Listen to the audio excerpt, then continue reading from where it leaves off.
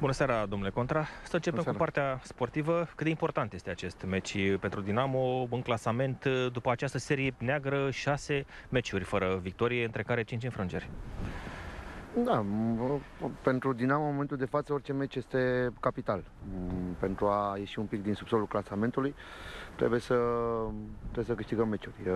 E clar că am întrerupt seria aia de 5 înfrângeri consecutive cu un egal acasă cu Astra și Mă aștept o reacție pozitivă a jucătorilor în seara asta, chiar dacă întâlnim un adversar care vine după o victorie categorică ultima etapă împotriva Iașului, o echipă periculoasă, o echipă uh, bine așezată în teren, cu jucători uh, care pe contraatac poate să îți creeze o sumedenie de probleme, dar aștept o reacție din partea jucătorilor și sper să uh, câștigăm după foarte mult timp aici pe Dinamo.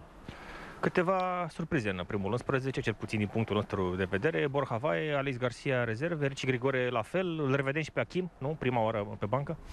Nu, nu sunt, uh, nu sunt surprize. Am încercat să dau continuitate. Mm, am ales uh, alți jucători pentru acest meci, uh, tocmai pentru că am nevoie de, de un alt tip de jucător și uh, sunt alegerile care le-am, le-am făcut pentru astăzi și uh, sper să fi fost inspirat. În ce condiții vine totuși acest meci și pentru Dinamo, pentru dumneavoastră? Pe lângă acele probleme financiare, am văzut că ați început să pierde și oamenii din staff. Uh, unul dintre preparatorii fizici a plecat, am înțeles că astăzi sau ieri și doctorul a, a plecat, este adevărat? Puteți să nu, confirmați? Și vor pleca tot mai mulți oameni, atâta timp cât uh, uh, situația este cum este la nivel uh, administrativ, uh, vor pleca mult mai, mult mai mulți oameni, pentru că asta e normal. Uh, uh, există, există o stare uh, agravată de, de neplată la, la nivel de, de, de, de club, care se răsfrânge asupra oamenilor. Oamenii au uh, viața lor, au familiile lor, Uh, e clar că asta nu este o scuză pentru rezultatele care am avut noi în, în, în ultimul timp, pentru că trebuie să uh, fim capabili să lăsăm aceste probleme deoparte și să uh, încercăm să avem mai, mai bune rezultate. Dar uh, e clar că um, situația la nivel de club uh, afectează și afectează destul de mult uh, în, la nivelul jucătorilor și la nivelul staffului și sper ca în ceasul al 12-lea să, să se rezolve aceste probleme, pentru că chiar este o situație dramatică.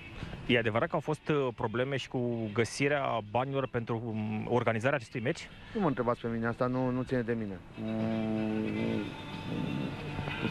suntem la joc, înseamnă că s-au găsit banii necesari pentru a disputa acest joc, așa că singurul nostru gând acum e să intrăm pe teren și să Uh, dăm tot ce avem noi mai bun în momentul de față și să încercăm să câștigăm meciul. Cum au fost totuși aceste zile? Am înțeles că ați renunțat și la intrarea în cantonament? Da. La cererea jucătorilor sau propunerea dumneavoastră? Nu, nu. Eu am, eu am ales să nu-i bag pe jucători în cantonament, să vină în ziua jocului. Sunt profesioniști și am ales uh, această soluție. Vorbeam la finalul meciului trecut, la începutul acestei săptămâni, spuneați că sunteți hotărât uh, să plecați.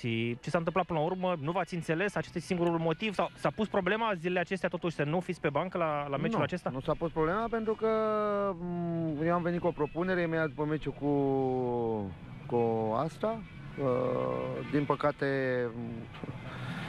propunerea pe care am avut-o față de, de conducători a fost una de foarte bun simț, dar uh, Uh, n-am avut răspunsul care îl așteptam și atunci continuăm uh, relația să vedem uh, cât vom mai continua împreună. Dar, vă spun, amândouă părțile ne dorim să ne despărțim și, din păcate, din partea lor, nu există disponibilitatea de a ajunge la o înțelegere pe cale amiabilă.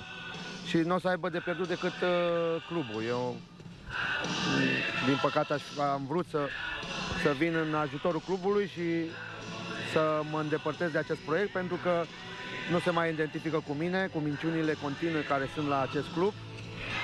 Și atunci eu cred că am venit cu o soluție imediat după meciul cu asta și dacă câștigam meciul cu asta, aceeași discuție și dacă câștigați, aceeași discuție.